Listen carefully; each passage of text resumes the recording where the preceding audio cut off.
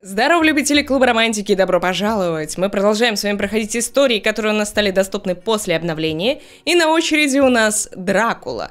Честно сказать, я уже не помню, на чем мы с вами остановились. У нас была какая-то вечеринка, где мы столкнулись с Лео, по-моему, потом мы с ним ехали по дороге, встретили Влада в лесу. Если я не ошиблась, это не было три серии назад или четыре серии назад. В любом случае, нас ждет восьмая серия из двенадцати. Покинуть замок — не значит обрести покой. А, точно, наш же Влад выставил. Точно, ребят, наш же выставил Влад, он сказал, все, пока. Покусики, моя дорогая, ты, конечно, хорошая, но я не могу тебя больше здесь защищать. Что-то, короче, такое было. А может, я ошиблась. Я уже, честно говоря, запуталась в этих всех историях. Кстати, если она вам нравится, то обязательно, обязательно поддерживайте ее лайком. Но мы с вами историю любви сейчас продолжим. Итак, глава 8. В этом эпизоде новеллы содержатся материалы о сексуальном насилии. Вау!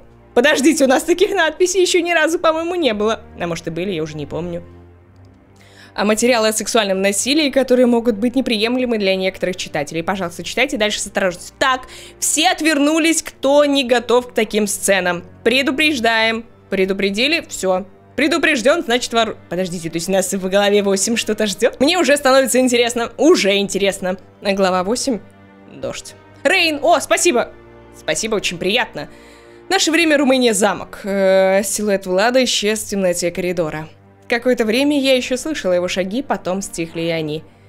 Холл выглядел таким же мрачным, как и прежде, но в воздухе появилось что-то по-новому враждебное. Казалось, замок, как и его хозяин, отталкивает и прогоняет меня. От нахлынувшей тоски я ощутила внутри почти физическую боль. Как можно стать таким безразличным? Взять и просто выгнать меня. Но я вчера говорил с ним о каком-то плане и лжи. Он его явно провоцировал, как и меня. Но что, если в тех словах была правда? И Влад обманывал, использовал меня, а теперь я просто ему больше не нужна. Сердце отказывалось верить в это. Мне очень хотелось найти Влада и еще раз поговорить. Но я стиснула зубы, заставляя чувство умолкнуть. Он сказал, чтобы я уезжала. Значит, я уеду. Уж точно не останусь там, где мне не рады. Опасаясь рас... э, растерять решимость, я метнулась в свою комнату. Наскоро побросала сумки в сумку самые необходимые вещи. Взяла картины и выбежала во двор. Слушай, а картины-то, может, не надо было брать? Я не знаю. Может быть, там сейчас еще устроят, скажут, ты что, ты картины украл? Нельзя было так делать. Лео все еще был у своей машины. «Пожалуйста, Лео, отвези меня к Сандре. Прямо сейчас». Он с тревогой оглядел мое лицо, а потом вещи в руках. «Что случилось? А Влад знает?» Влад сам только что сказал мне, чтобы я уезжала. На лице Лео застыло изумление. Он с беспокойством повернулся в сторону замка. Думаю, мне нужно поговорить с ним. Я перегородила ему путь и с мольбой заглянула в глаза. «Лео, прошу, просто увези меня отсюда!» «Ну, хорошо, только подожди минуту, я Носферату возьму». Он ушел и дрожащими руками стал укладывать тубы с картинами на заднее сиденье машины. Услышав за спиной какое-то движение, я подскочила от страха и обернулась. «Эх, с добрым утром!» Опять уезжайте!» Ну и довольно улыбался, а в руке он держал крупное надкушенное яблоко. «М да». А вот невезение. Приехал в гости, надеялся на славную компанию, а все куда-то разъезжаются. Он вдруг выронил яблоко, и оно, описав неправильный круг, подкатилось прямо к моим ногам. О, прости. Но я подошел ближе и присел у моих ног, чтобы поднять фрукт. Я хотела отстраниться, но сзади была машина. А парень явно не спешил вставать с интересом, скользя взглядом по моему телу. Наконец он подхватил яблоко, поднялся и задумчиво посмотрел на него. Ммм, изгнание как способ наказания за желание знать. Ну разве справедливо? Впрочем, о потерянном рае быстро перестают сожалеть, когда понимают, что за его пределами все самое интересное. Ну, что ж, счастливого пути и до скорой встречи. Он ушел, насвистывая какую-то мелодию. А через несколько минут вернулся Лео, и мы покинули замок. Не нравится он мне, вот не нравится мне и все. Машина поднялась на гору, а я будто приросла взглядом к замку Влада, который все больше удалялся от нас. Странное облако, висевшее над ним, потемнело и заметно расширилось. Теперь оно занимало почти весь горизонт. Внутри меня было опустошение и чувство, что я потеряла что-то близкое и важное. Ты расстроена из-за Влада? А у меня близкие отношения. А с Владом, точно. Я думала с Лео. Ну, я знаю, что у нас не с Лео. Я думала, может быть, что-то в истории у нас там поменялось. От слов Лео я вздрогнула и почувствовала, как горло подкатил ком. Впрочем, много не спрашивать, и так видно. Ты успела сильно привязаться к нему за эти дни. В голосе Лео прозвучали напряженные нотки. «Прости, я не хочу, да и не могу предъявлять тебе что-либо. Ведь мы так мало знакомы. Слушай, а может там переодеться?» Нам надо переодеться, а то мы как-то в платье, в том же наряде. Слушайте, а представляете, если уже какой-то мелкий-мелкий выбор из прошлого как-то повлиял на нашу историю? Вот совсем какой-то мелкий, совсем какой-то, знаете, такой незначительный на наш взгляд, а вот у нас уже все вот так вот пошло наперекосяк. В любом случае, давайте переоденемся. А, значит, наверное, прическу мы... Ну, прическу мы, наверное, оставим. Я... Ну, могу вот... Ладно, вот, вот это пусть будет. Но вот а, легкое платье Просто и удобно. Серебряные кристаллы, текущие. Давайте, может быть, просто и удобно. А то мы как-то, ну, в вечернем платье, грубо говоря, поехали. Но ваши с Владом взгляды друг на друга просто выбивают меня из колеи. Нервным движением... А, также близкие отношения. Мы умеем крутить сразу двумя, ребят. Нервным движением он откинул прядь волос с лица, а я молчала, не находя что ответить. Лео вдруг печально усмехнулся. Самое забавное, что он и мне и самому нравится как человек. Одновременно бесит и нравится. Это странно, но у меня чувство, будто я давно его знаю и понимаю.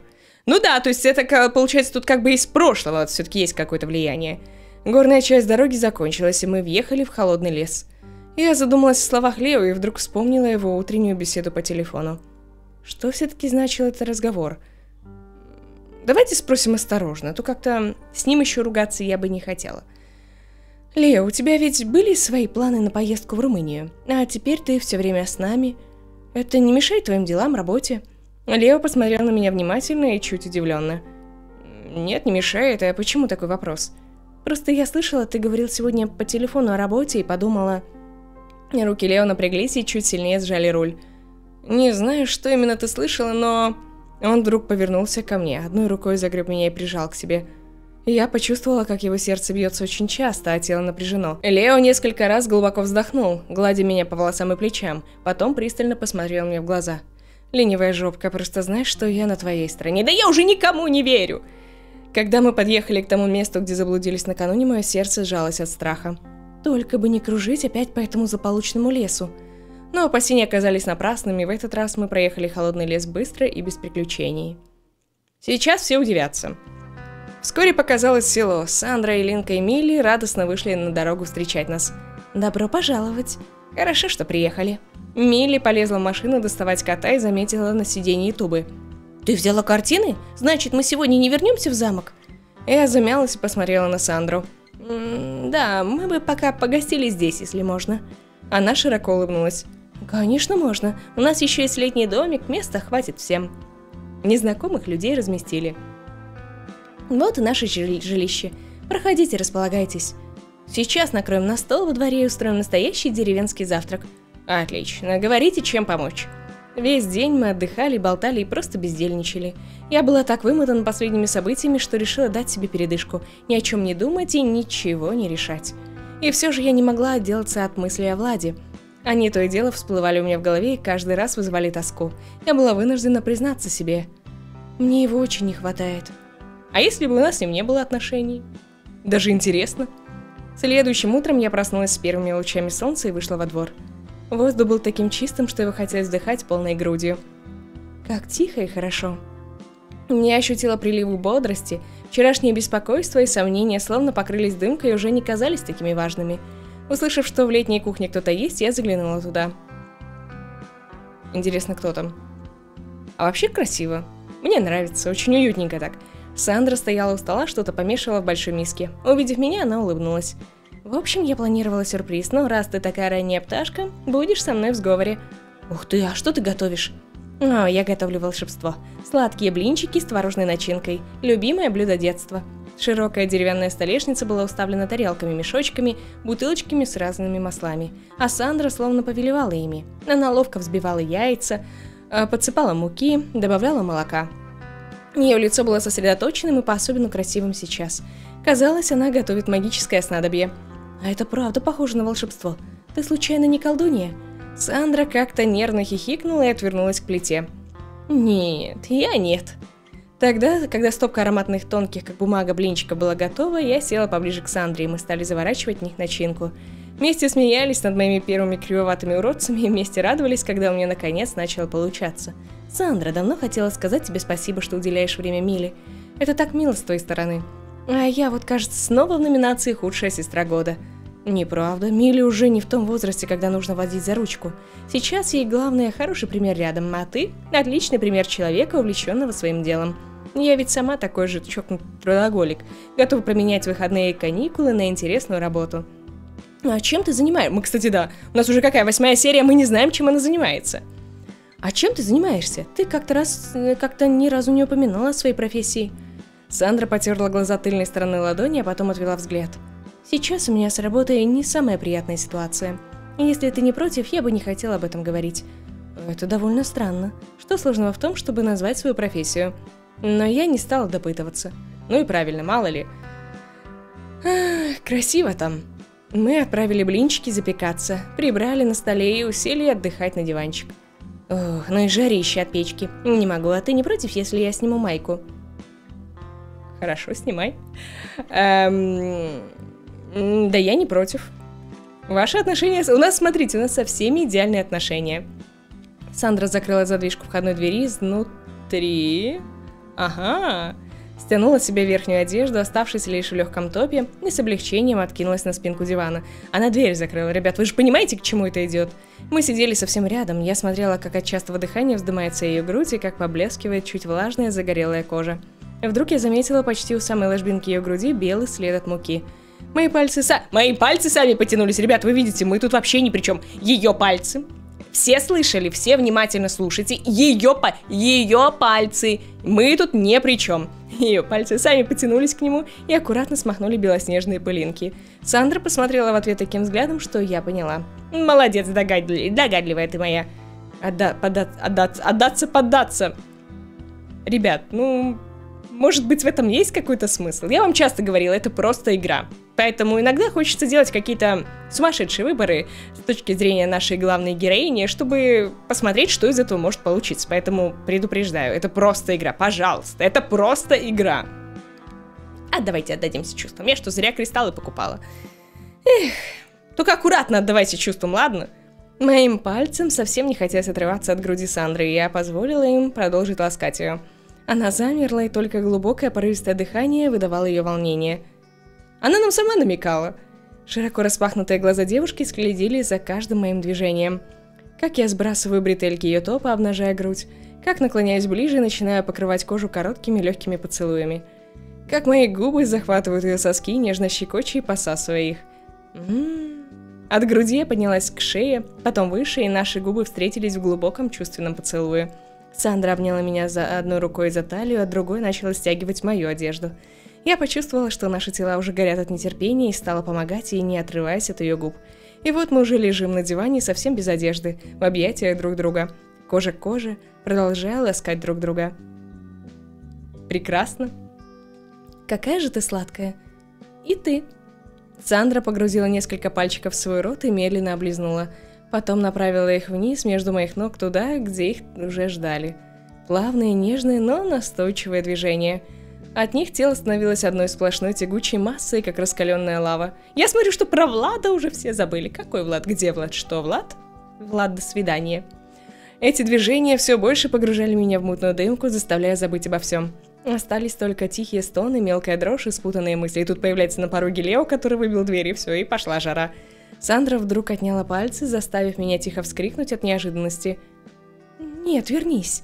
Она скользнула по дивану ниже, погладила мои бедра и стала покрывать поцелуями низ живота, дразня и заставляя томиться от нетерпения. Вдруг она резко встала, взяла меня за руку и потянула за собой. Мы снова принялись целоваться и дошли до кухонного стола. Девочки, девочки. Сандра усадила меня на столешницу и развела мои ноги. Дорожка из поцелуев, она опустилась по моему телу вниз.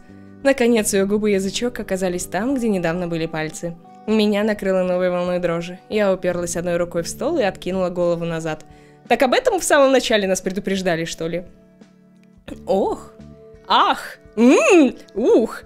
Вторую руку я погрузила в ее волосы, перебирая и поглаживая их. Моя спина сама собой выгибалась, а бедра напряглись. Ощущения становились слишком яркими.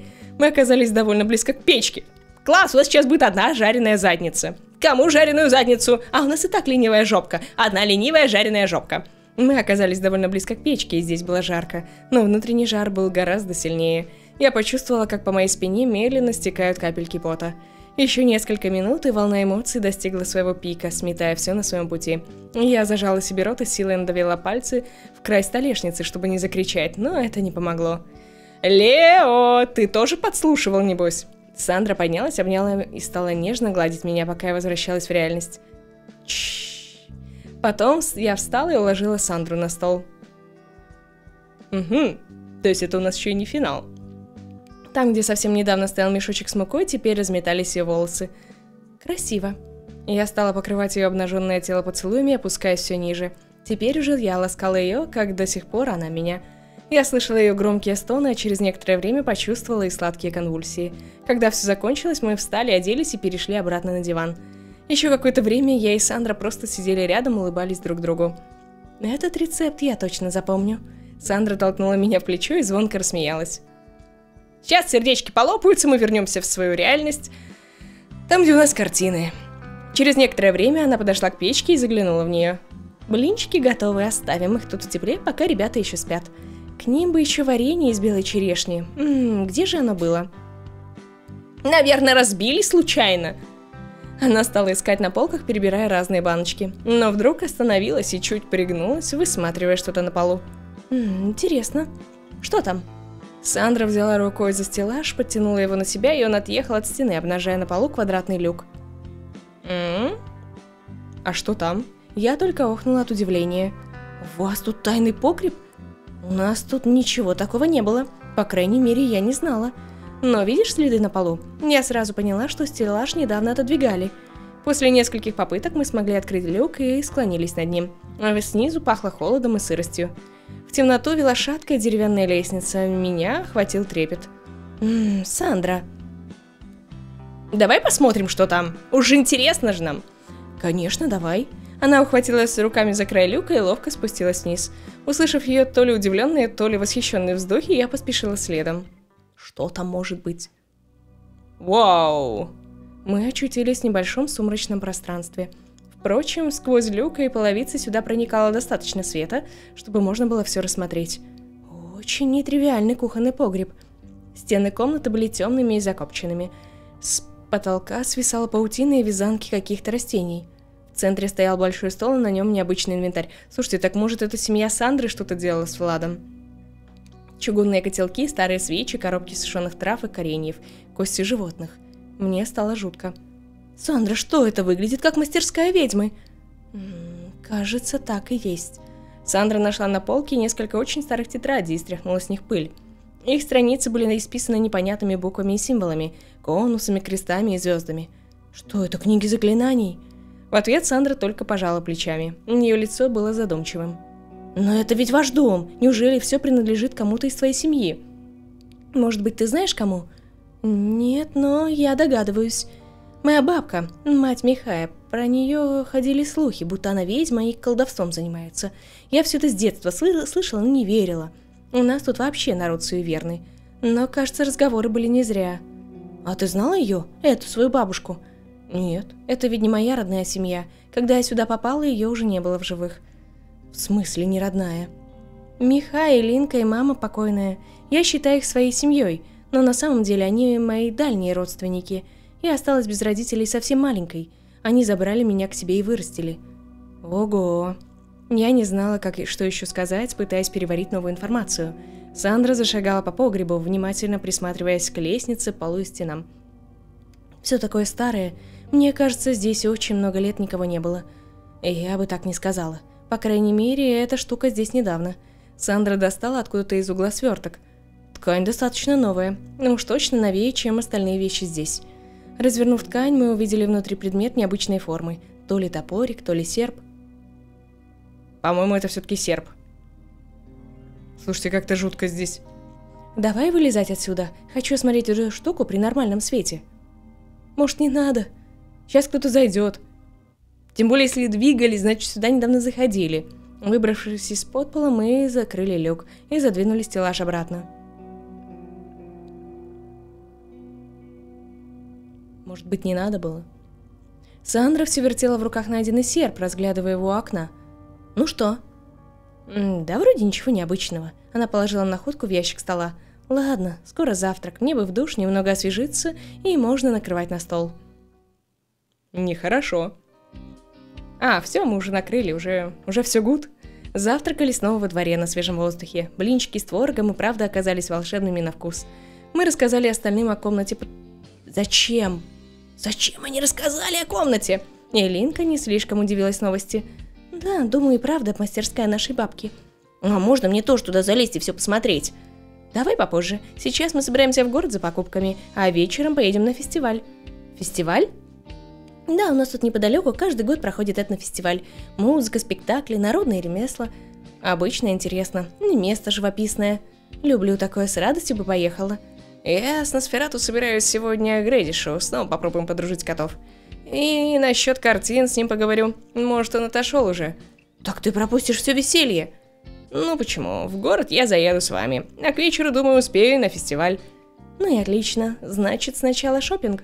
Да, действительно. Поедем на шопинг. Дорога в город заняла не больше 20 минут. На шопинг мы отправились в большой торговый центр. Сандра, Линка и Мили пошли в продуктовый. Я решила подобрать подходящий наряд, ну действительно. Что же нам еще покупать с вами? Выбрать наряд. Ну, давайте посмотрим. Стрит стайл. Вау. Слушайте, почему такие, кстати, классные наряды нам редко попадаются? Релакс. Да, релакс тоже неплохо выглядит, но, знаете, я бы взяла, наверное... А что у нас есть еще? У нас есть хлопковая долина. Хлопковая долина. я думаю, что релакс мне не очень нравится. Вудсток. Давайте стрит стайл. Это, конечно, стильненько, но я думаю, что если мы будем от каких-то вампиров убегать или оборотней, то нам лучше что-то вот такое взять. 21 кристалл, тем более, что более-менее нормально. Ну, уже выглядим неплохо. Посмотрим, конечно, что за фестиваль, наверное, мы будем странно смотреться, но мы всегда можем переодеться, у нас есть еще несколько нарядов. Рядом оказался парикмахерский салон. Я зашла и туда, ну действительно. Нам же надо еще и волосы привести в норму. Хм, длинные со шляпкой. Пучки с блестками. О, мне нравятся пучки с блестками.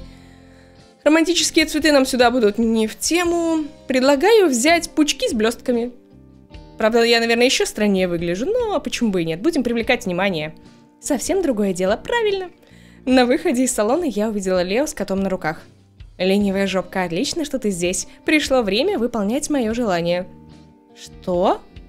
Помнишь игру «Правда или действие»? Ты должна мне действие и обещала помочь выбрать Носферату наряд. Я не буду платить за Носферату. Три точки. Пойдем. В магазине я присмотрела парочку нарядов. Не, ребят, я не буду еще платить коту за наряд. Джеймс, Луи, текущий. Ну, ладно. Давайте возьмем Луи. Хорошо. Может быть, это очень важно. По-моему, котик не очень доволен. Отлично. Тебе нравится, дружище? Твои отношения с котом улучшились. Ну, хоть с котом у нас улучшились отношения за сегодня. После шопинга Лео уехал к Грейдишу, а мы с девочками отправились обратно в село. Надеюсь, Носферат у нас когда-нибудь отблагодарит. Когда мы доехали до дома Сандры, был уже полдень.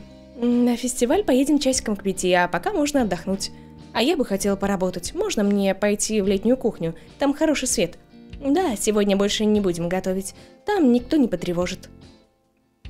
Допустим. Сейчас мы снова с вами будем проваливаться. Я пошла на кухню, придвинула к дивану небольшой столик и, устроившись поудобнее, принялась за работу. Спустя несколько часов я, как обычно, перенеслась в прошлое. Мне так нравится. Она уже спокойно, знаете, так рассказывает. Я, как обычно, посидела за картинами, да потом, как обычно, перенеслась в прошлое. В принципе, ничего нового, ничего удивительного. Ну-ка, а на чем мы остановились? С тех пор, как Мехмед перестал посещать дворцовую школу, они с Лали редко виделись, лишь на официальных приемах. Теперь она была так удивлена, увидев его на вечере в гареме, что забыла об этикете и вместо положенного приветствия попятилась назад. Гюльхатон остановила ее и потянула сзади за поясок, напоминая о необходимости поклониться. Но Лали лишь слегка наклонила голову и сухо произнесла «Доброго вечера, господин». «Ну, это ж правда вечер славный», Мехмед встал, приблизился к ней и окинул с ног до головы пристальным взглядом. Взгляд был липким и неприятным, но олень не подала вида и продолжила стоять гордо с приподнятым подбородком. «Как же ты расцвела! Хм, прекрасный нежный тюльпан и очень хрупкий. Так легко сломать стебелек. Раз и все!» «Иногда хрупкость бывает лишь видимой». Мехмед угрожающе прищелкнул зубами и тут же расплылся в улыбке. Что ж, может быть. И все же цветы для того и растут. Чтобы быть сорванными в самом ярком цвете. А потом украсить собой чьи-нибудь покои. Пусть и ненадолго. Если вы хотите обсудить цветы, может лучше делать это с садовником. Я, признаться, не очень разбираюсь. Мехмед захохотал и провалился обратно в подушки. Ах, острый язычок, прекрасно. Гордая, смелая птичка, пока не попала в селок. Признаться, ты меня удивила. Твой танец. Мне было его мало, хочется еще. Что ж, в гареме много прекрасных танцовщиц, готовых танцевать для вас до утра.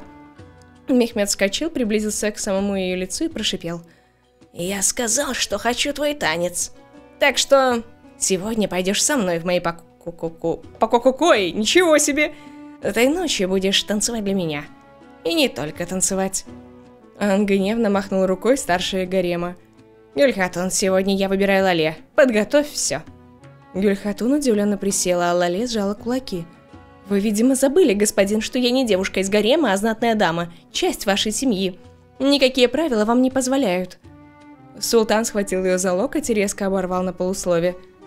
«В этой империи мое желание закон. Я сам закон. Какое мне дело до старых глупых правил?» Лале с силой выдернула руку и повернулась к выходу. «Доброй ночи, господин, я ухожу». Мехмед упер руку в стену, преграждая ей путь. «Сегодня я не стану портить вечер и устраивать здесь шумиху. Даю тебе день подумать и осознать все выгоды близкого общения со мной. А завтра вечером явишься ко мне, иди». Ах, так вот о чем нам в самом начале писали. Выбежав из большой залы, Лали увидела у входа в гарем свою наставницу. Та была в радостном ожидании. Каком нафиг радостном ожидании? Эх, ну, как выступление, милая? Шахи Хатун знала про Мехмеда и наряды специально готовила. Как быть? Ну, давайте, может быть, мягко спросим. Шахи Хатун, ты ведь не нарочно меня сюда отправила?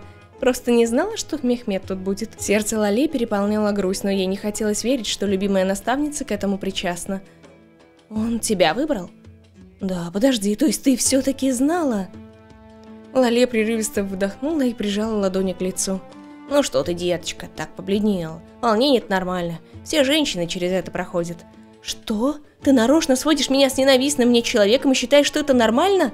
О моих чувствах ты думала?» Наставница сурово поджала губы, ее обычно мягкое лицо вдруг стало жестким. «Чувства? Твоя мать шла за чувствами, и где она теперь? Вышла замуж по любви за этого чужеземца, такого странного, совсем на нас не похожего. Я не хочу тебе ее судьбы. Такой шанс выпал стать любимой женщиной великого султана, а ты недовольна!» Лале смерила ее испепеляющим взглядом и выбежала из гарема. «Ребят, вот это попадос!» Вот это попадос! Возвращаться в свою комнату она не хотела, и не зная, куда еще деться, бросилась в ночной сад. Какое-то время она бежала, размазывая руками слезы по щекам, потом устала и зашагала медленней. Ночь была прохладной, и танцевальный костюм совсем открытым. Лале дрожала и ежилась, но продолжала идти. Плохо. Дело плохо. Незаметно для себя она забрела в удаленную часть сада. Впереди в кустах послышались голоса. Лале резко остановилась. «И что мы будем терпеть это? Куда нам теперь идти, если путь в гвардию закрыт?» Лале прижалась спиной к кустам и осторожно подкралась ближе. На поляне было несколько десятков мужчин, они сидели кругом и что-то обсуждали. «Этот юнец разрушит гвардию, а потом империю. Нельзя ему позволить. Мы должны поднять бунт. В рядах Янычар тоже волнение. Султан Мехмед многих разозлил своим поведением. Если мы объединимся... Лале оступилась, и под ее ногой что-то хрустнуло. Голоса резко стихли. «Там кто-то есть, подслушивает!» «Хватайте! Он нас выдаст, тогда всем не сносить головы!» А через мгновение Лали почувствовала, как чьи-то жесткие руки ее схватили. Убеждать? Ну, убеждать, наверное, я не знаю, кричать не вариант. «Подождите, отпустите меня, я никому ничего не скажу». Но мужчина только сильнее сжал руки. «А, да, как же будем мы рисковать своими головами из-за тебя? Кто это вообще такая? Ночью одна, да почти голая. Наверное, из красной розы девочка, у них такие рабочие костюмы. Ну, что делать с такими мы знаем». На дорожке послышались поспешные шаги. Я так понимаю, что в этой ситуации в любом случае мы попадаемся, закричим, нам рот зажмут. В следующий момент кто-то отшвырнул в сторону мужчину, державшего Лале, и ее теперь схватили другие руки. «Лале? Аслан? Что ты здесь делаешь и в таком виде?» Аслан был не один, с ним пришел Алибей. Он вышел на поляну к заговорщикам. «А ну быстро по комнатам, паршивцы! Бун задумали! Я вас для этого обучал! Для... Да вас перережут всех, как щенков! Пикнуть не успеете!» Нам просто повезло сейчас. Лали и Аслан медленно брели по саду. Понимаете, мы бы заорали, могло и Аслану попасться. Девушка пыталась хоть немного успокоить свои мысли, но ей плохо удавалось. Такой ужасный вечер. Мехмед, нападение в лесу. Хорошо, что Аслан появился. Она посмотрела на друга и только теперь услышала, что он ей говорил. Многие ребята недовольны, что Мехмед отверг всех кандидатов в особую гвардию, но бунт – это не выход. Али Бэй всегда учил нас защищать, но не нападать. Тем более на султана, каким бы он ни был. Ну а ты, может, расскажешь, что случилось? Я бы ему рассказала, он наш друг. Лали молча нахмурилась и мотнула головой. Я не должна рассказывать о том, что было в гареме. Если они с Владом узнают, могут наделать бед. Ну, она права с другой стороны. И мне не помогут, и себя загубят. Нельзя им так рисковать. Девушка наконец заговорила подрагивающим от холода голод, голосом. «Спасибо, Аслан. Если бы не ты...» Аслан остановился и посмотрел на нее с укором. «Да у тебя же зуб на зуб не попадает от холода. О, горе ты мое, иди сюда». Он взял ее за руку и потянул к себе. Он собирается меня обнять. Я не знаю, против я или нет. Ребят, я не знаю. Я как бы, ну, нормально к нему отношусь, поэтому... Ну, давайте, я не против. Лале подалась движению и тут же оказалась в объятиях Аслана. Только теперь, когда ее окружило тепло его рук, она поняла, насколько сильно замерзла. Они стояли посреди сада под зем... звездным небом. Лале понемногу начала согреваться. В объятиях парня холод отступал, и на душе тоже становилось теплее. Аслан погладил ее по волосам и коснулся ушей. Ужас, какие холодные. Он закрыл их ладонями и немного потер, потом стал растирать ее плечи и руки. Это были очень теплые, опекающие жесты, дружеская забота. Ага, ага, дружеская, знаем мы такие дружеские заботы. Но вдруг Лале заметила, что в его глазах мелькнул какой-то особый огонек. Аслан замер, словно прикованный к ней взглядом. «Аслан?» Он резко отстранился, убрал руки и отвел взгляд. Потом проворчал. «Кто вообще придумывает такие костюмы? Разве это одежда? Пойдем, отведу тебя домой». Ну, то есть у него что-то щелкнуло там. Следующим утром Лале проснулась очень рано и тихо, чтобы не разбудить наставницу, поспешила уйти из комнаты. На душе ее было тоскливо, она не знала, куда себя деть. «Пойду в конюшню. Лошади меня всегда успокаивают». Ох, мы попали. Это и правда подействовало. Пока Лале кормила и гладила лошадей, ее мысли изменились. Скорее всего, вчера у Мехмеда было просто блажь. Увидел, захотел, решил взять. Как капризный ребенок игрушку. Сегодня, наверное, уже и забыл про меня и переключился на новые игры. Все же затащить в гарем девушку из собственной семьи слишком серьезно и может создать ему проблемы. Вряд ли я так сильно нужна Мехмеду, чтобы он был готов на это пойти. Лале услышала перед конюшней шум и много разных голосов. Она пошла посмотреть, что происходит, и увидела, как отряд военных ведет под конвоем толпу пленных. Слушайте, ну не ребят же поймали. Будет плохо. Это были уставшие, изможденные люди, не молодые, пожилые, многие были ранены. Лали смотрела на их лица, и сердце ее ныло от осознания того, насколько они беспомощны. Ох. Лале? Зачем ты здесь? А ты? Ладно, хмурился.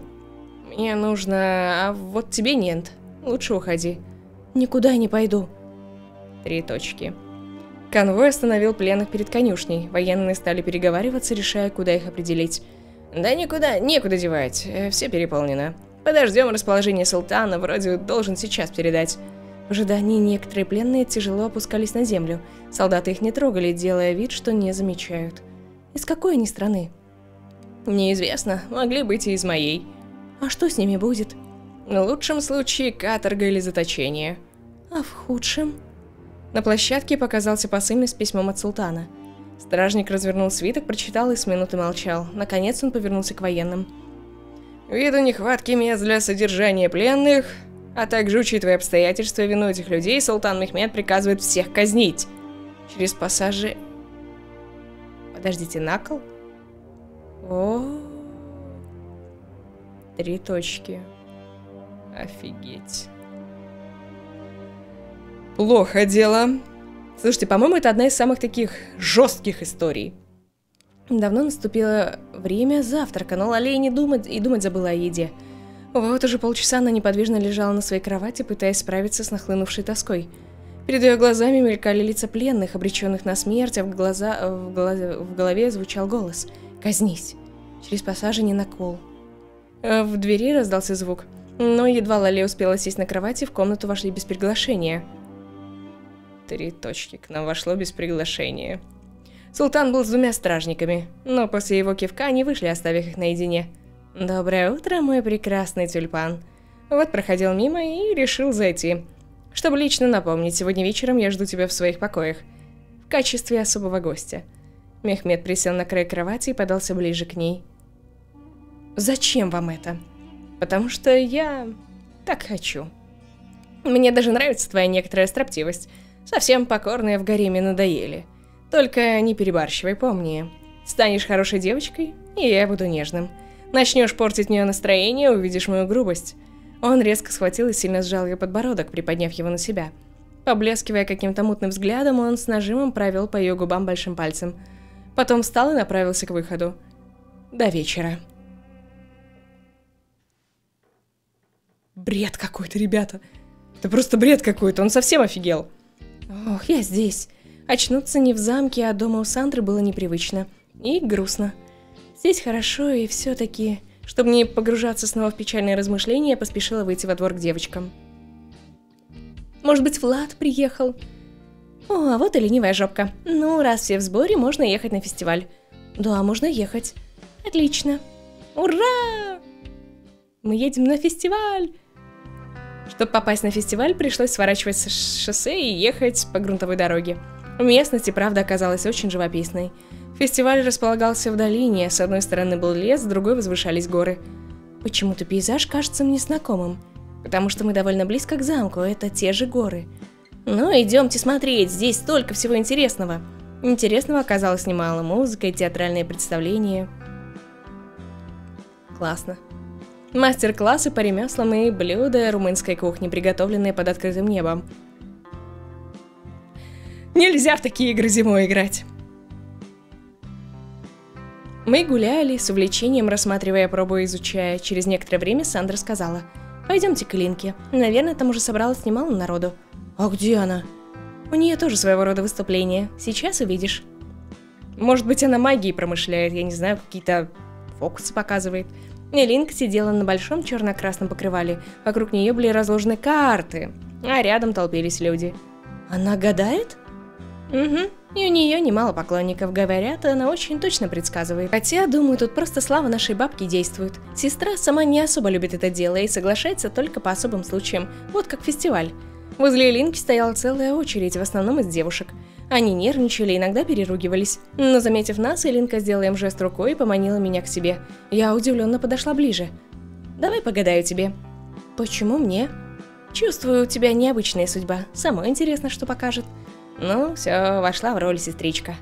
Я присела на покрывало. Но ловким плавным движением Линка развернула веер из карт. Только имей в виду, я увижу больше, чем смогу сказать. Так всегда бывает. Ну, вытяни колодой любые четыре карты.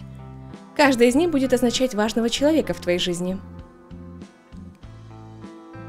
Я послушалась, и Линка взяла выбранные мною карты и стала поочередно открывать их. Ммм, первая рыцарь жезлов. Я увидела на изображении рыжеволосого юношу на коне. У него... у ног его был лев.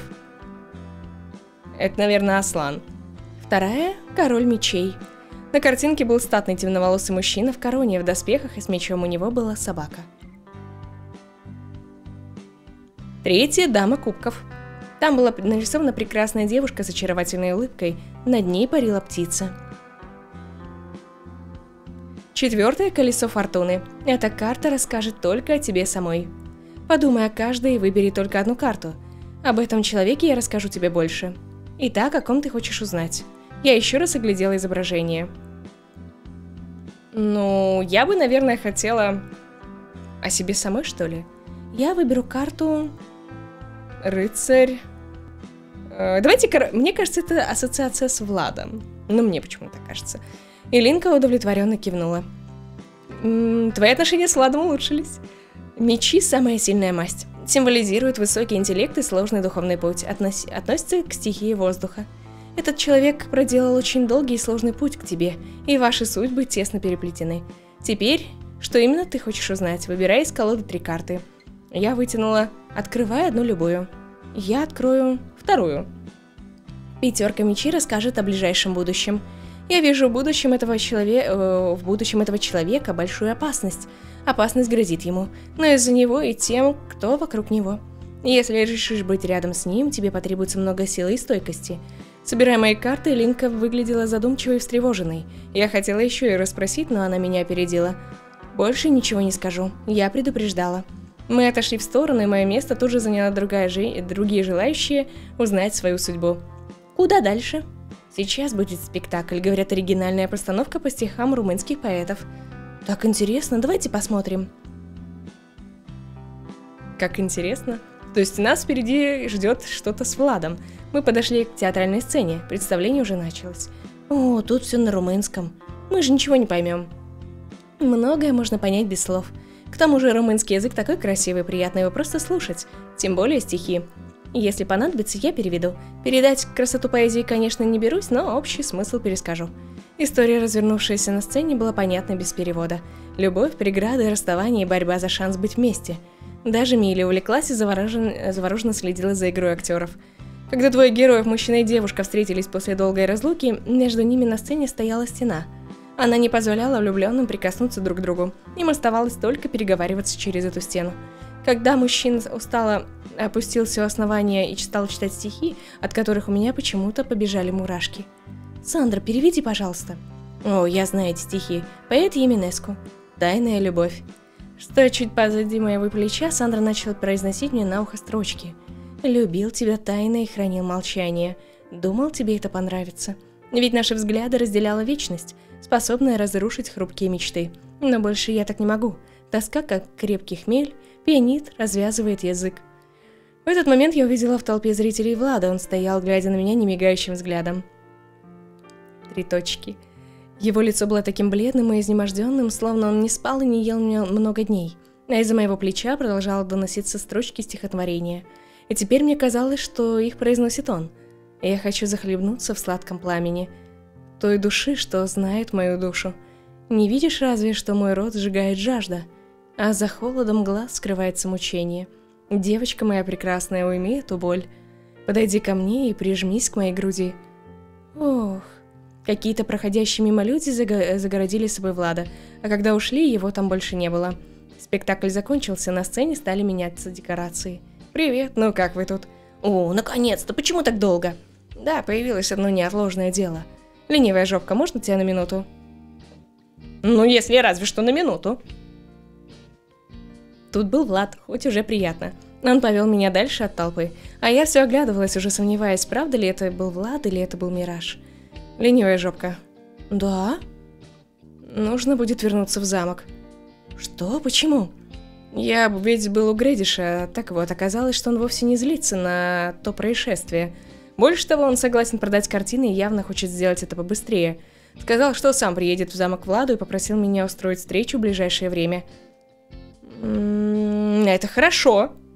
Я уж думала, мы потеряли эти картины и не сможем собрать всю серию. Удивительно, конечно, что он так быстро все забыл, но я рада шансу. Тут я подумала о деталях возможной сделки, и радости сразу поубавилась. Нет, так не выйдет, ведь Влад... С Владом я уже говорил. Говорил? Когда? Я поехал к нему в замок, чтобы обсудить приезд Грэдиша, а потом... В общем, я привез его сюда. Что? Почему? И что значит привез? Но Лео не успел ответить. На долину внезапно налетел такой сильный порыв ветра, что кое-где взлетали шатры и предметы. Ох! О, Лео, ленивая жопка, там Сандра! К нам подбежала махая руками Миля, ее лицо было таким перепуганным, что мы без вопросов помчались к ней. Я надеюсь, ее не ударило чем-то. Вскоре мы увидели сквозь толпу в небольшом круглом пространстве расступившихся людей была Сандра, а рядом с ней Михай, который яростно тряс ее. Сандра пыталась вырваться, но безуспешно. Ах! Лицо Миха было таким свирепым, что никто из людей, стоявших вокруг, не смел вмешиваться. Вот он преодолел сопротивление девушки, добрался до ее горла и стал душить свою дочь. Черт возьми! Мы с Лео бросились на помощь, расталкивая людей. Но почти одновременно с нами там оказался Влад. Он и Лео кинулись на Михая. Двое сильных мужчин сразу повалили его на землю, но было видно, что даже им сложно удержать беснующегося мельника. Сандра, держась за шею, отшатнулась в сторону. «Господи, Сандра!» Не обняла ее и стала утешать, пока Влад и Лео удерживали Михая. И вдруг раздался громкий смех. Очень странный, высокий, пугающий. О-о. А? Глаза Элинки остекленели, а она закружилась, будто в трансе.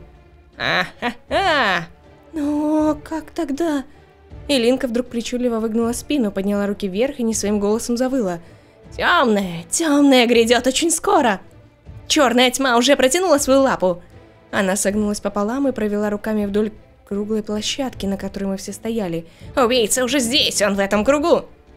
В небе что-то гулко зарокотало. Я испугала, подняла голову к небу и увидела, что на него стремительно наползает черное выпуклое облако. Такое же висело над замком или то самое. Илинка резко стихла и стала, и устало опустилась на колени. Она обхватила свою голову руками и с удивлением озиралась по сторонам. Теперь ее лицо было испуганным, совсем обычным. Ох. Погода ухудшалась с каждой минутой, вокруг все потемнело. Посетители фестиваля испуганно разбегались, организаторы спешно сворачивали декорации. Я тоже заметалась, не зная, куда бежать. Вот это жесть. Ребят, такое происходит! Какой-то ужас. Ах, нужно уезжать. Скорее. Небо треснуло от грома и полился дождь. Что это? Первую секунду я не поняла, но потом увидела, что влага, бегущая по моим плечам, черного цвета. «Черный дождь! Черный дождь!» Люди вокруг останавливались и ошарашенно смотрели в небо. «Бежать, прятаться, но куда?» Я схватила за руку Милли, а потом метнулась в другую сторону, к Сандре, которая поднимала на ноги Линку. «Сандра, скорее!» Лео и Влад бросили меха и стали пытаться увести нас. «Парковки!» «Не туда, туда!» Черная вода продолжала литься с неба, но тут же с него стало падать что-то более крупное со звуком шмякаться в размытый грунт. Шмяк, шмяк, шмяк. «Это лягушки!» Сестра подпрыгнула, извиваясь, что-то стряхивая со своего плеча. «Шмяк, шмяк, шмяк!» Сандра тоже стала подпрыгивать со страхом, глядя на землю. «Змеи!» «Что?»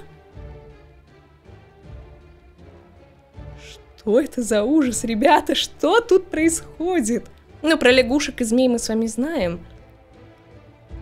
Расширенными от ужаса глазами я смотрела, как на нас перемешку с черной водой стали сыпаться лягушки и змеи. «Проклятый дождь! Проклятый дождь!» «Какой еще проклятый дождь? Вы что, издеваетесь? Какой проклятый дождь?» Какой кошмар, ребята. Просто какой-то ужас.